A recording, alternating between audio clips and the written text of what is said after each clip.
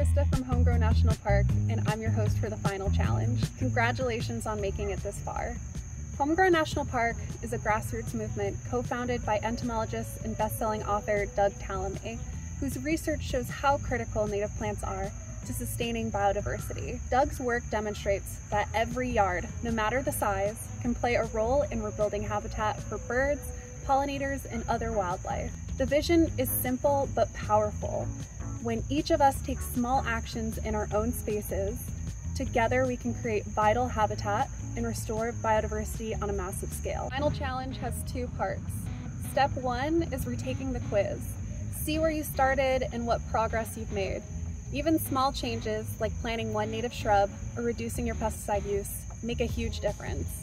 This movement isn't about perfection, it's about participation. Every action counts.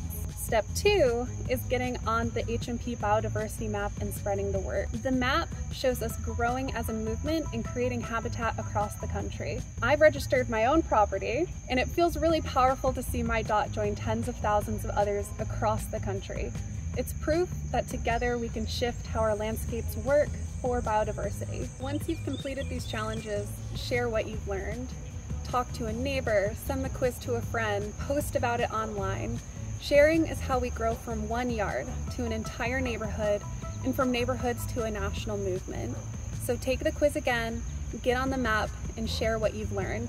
This is how we make real change together.